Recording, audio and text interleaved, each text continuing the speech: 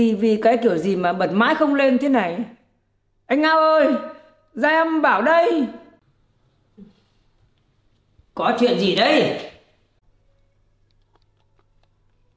anh xem thế nào, cái tivi nó không lên. Em bật để xem chương trình bông hoa nhỏ mà không được đưa cái điều khiển đây xem nào.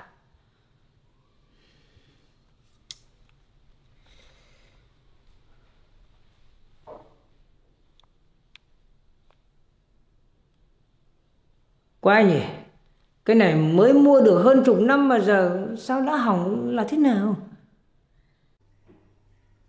Theo tháng, theo năm thì cũng có tuổi rồi. Cơ quan bộ phận phải mồi mới lên. Có khác gì anh đâu.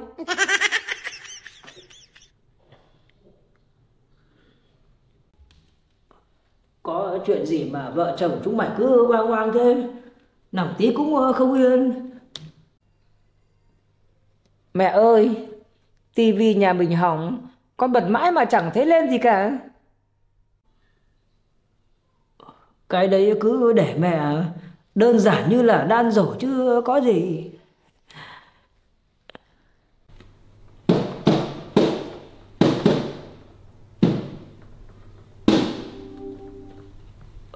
Đây, có gì đâu mà chúng mày phải ôm sòm. Nội công mẹ thâm hậu ghê. Đập đập vài cái là đả thông kinh mạch. À, Bài này ngày xưa nhiều người áp dụng lắm. Cứ hỏng là vỗ là đập thôi. Công nhận là các cụ nhà mình để lại nhiều trò hay ghê đấy. Chào cả nhà. Nhà mình có chuyện gì mà rôm giả thế? Bác sang chơi. Bà cụ nhà em đang truyền cho ít kinh nghiệm. Cái tivi này, bệnh tình nặng là thế. Gọi không nói, hỏi không thưa. Bấm thế nào, Mặt cứ đen xì xì. Thế nhưng mà bà cụ nhà em chỉ cần vỗ vỗ đập đập Vài cái thôi là lại sáng bừng đấy thôi.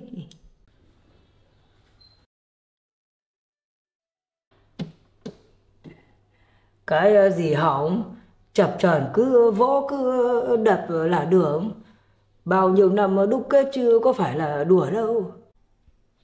Bác sỏi ơi, bác cứ về thử đi. Hiệu quả lắm đấy. Rồi, cái gì hay thì phải học chứ.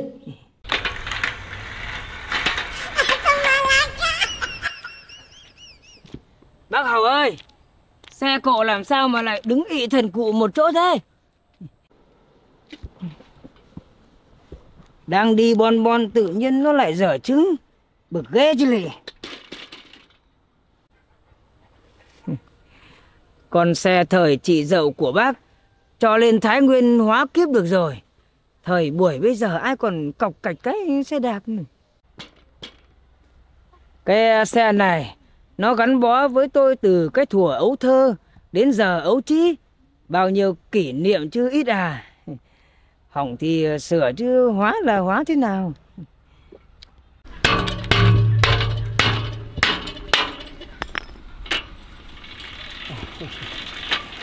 Đấy hỏng cứ đập là lại ngon.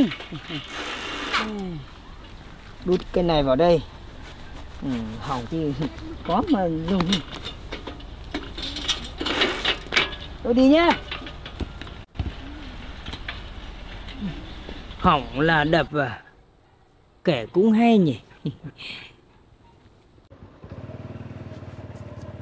Anh ơi anh đỗ lại đi. Đỗ lại em bảo.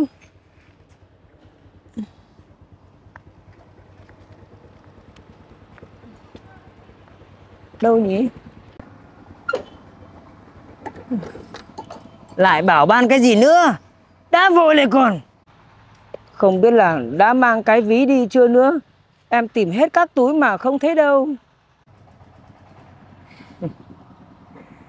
Mặc vé thì túi đâu mà tìm? Đầu óc cứ lơ nga lơ ngơ. Giá mà có chỗ nào sửa chữa Tôi đèo cô đi sửa cái đầu cho nó ngon đi. Sửa chữa? À Em học theo cách của mẹ xem sao nhớ ra rồi. Đây, công nhận là cách của mẹ hay thật đấy. À, Ngao ốc đi đâu mà lại đỗ giữa đường giữa chợ thế này? Em với cả nhà em ờ, lên phố, đang đi thì lại bảo là không nhớ cái ví để đâu. May là có cách của bà cụ nhà em nên là mới nhớ ra. Cách gì đây? Thì cứ hỏng là đập là vỗ. Mình về cũng phải thử làm xem thế nào. Cái lão sò này không biết lại đi đâu rồi. Đồ đạc mua về một thời gian là lại có vấn đề. Dùng có bao giờ biết giữ gìn đâu. Có vấn đề gì mà gào ầm lên thế? Tôi sai thì tôi khắc biết sửa. Mình chữa thì mình cứ để. Anh có mà sửa vào mắt. Lại là tôi vác tiền đi mua chứ sửa chữa cái gì. Anh đúng là không bằng một phần của người ta. Họ thì ăn nên làm ra. Mình chỉ phá là không ai bằng thôi. Này, ít ít cái mồm thôi. Để đấy tôi khắc thể hiện tài năng. Mình xem đây. Uhm.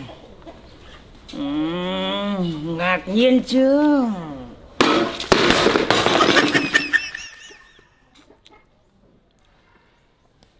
Ngạc nhiên rồi. Ngạc nhiên quá rồi. Đúng là không được cái nước non gì cả. Chồng người ta thì tài giỏi đủ đường.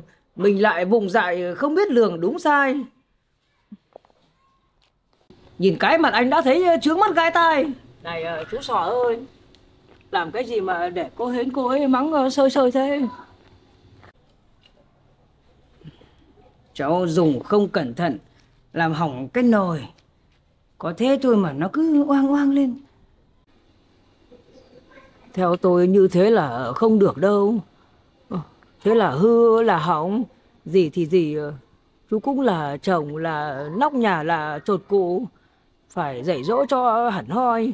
Không mai kia nó lại trèo đầu cưỡi cổ thì khổ. Cụ nói đúng. Đã hỏng thì phải sửa.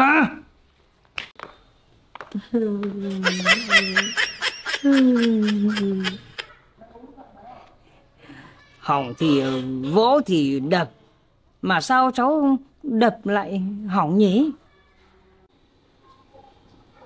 Mày đập ở sai cách rồi con ơi. Phải ở thế này này. Ôi chà. Giời, thực hành luôn à. Không phải cái gì cũng ờ, đập được đâu.